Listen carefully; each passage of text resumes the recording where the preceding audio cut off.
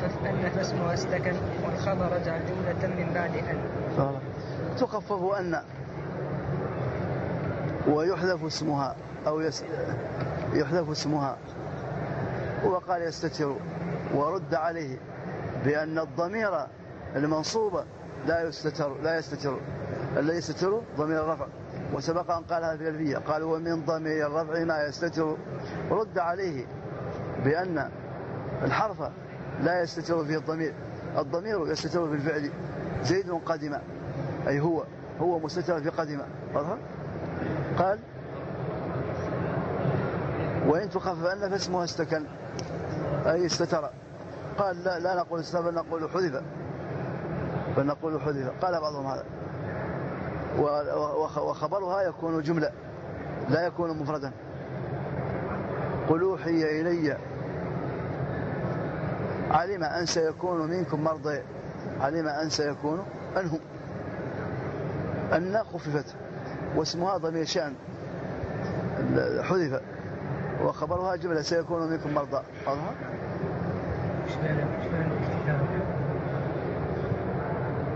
الاستتار. الشيء المستتر موجود. والمحذوف غير موجود. الله أعلم. والخبر جعل والخبر جعل جملة من بعد أن وشذ بأنك ربيع وغيث مريع فيها شذوذان. صرح باسمها وهو الكاف في أنك وجاء خبرها مفردا ربيع. فلو أنك في يوم الرخاء سألتني طلاقك لم أبخل وأنت صديق فيها شذوذ واحد. صرح باسمها وهو الكاف في, في, في, في أنك. والخبر جاء جملة. واضح؟ شيخ ضمير الشأن يأتي الغائب والمخاطب. من شاء الغائب من شاء يكون غائبا مفردا وغائبة مفردا فقط. وإن يكون فعلا فإن كانت فإن كان الخبر الجملة اسمية لا تفتقر إلى فاصل. وإن كانت جملة فعلية فسوف يذكرها. قال وإن يكون فعلا إذا كان الخبر فعلا ولم يكن دعاء ولم يكن تصريفه ممتنعا أي أنه متصرف فالأحسن والأفضل في اللغة العربية أن يفصل بينها وبينه بنفي أو تنفيس. أو قد أو لو. مثال النفي أيحسب أن لن يقدر عليه أحد؟ أيحسب أن لم يره أحد؟ أفلا يرون أن لا يرجو إليهم قولا؟ فاصل نفي أو تنفيس علم أن سيكون منكم مرضى أو قد ونعلم أن قد صدقتنا. أو لو فلم ييأس الذين آمنوا أن لو يشاء الله لدى الناس جميعا. هذا أحد هذه الفواصل وهذا مستحسن فإن لم يفصل جاز. كما هو قول الشاعر علموا أن يؤملون فجادوا قبل أن يسألوا بأعظم سؤلي. أن يؤملون. لم يفصل بين أن وبين الخبر. والخبر جملة فعلية وفعلها متصرف وليس دعاء. فإن كان الفعل جامدا غير متصرف لا يفتقر إلى فاصل لأن الفعل الجامدة شبيه بالاسم. وأن عسى أن يكون قد اقترب أجلهم وأن ليس للإنسان إلا ما سعى. فإن كان دعاء أيضا لا يفتقر إلى فاصل. كقراءة ورش رحمه الله تعالى. قراءة نافع. قال والخامسة والخامسة أن غضب الله عليها إن كان من الصادقين. قراءته بهذا الشكل أن غضب الله عليها إن كان من الصادقين. الفعل متصرف ولكنه دعاء لا يفتقر إلى فاصل. واضح؟ هذا قوله فالأحسن الفصل بقد أو نفي أو تنفيس أو لو وقليل ذكر لو لو قليلا لا أنها قليلة فهي كثيرة لكن يقل من ما ذكرها. نعم.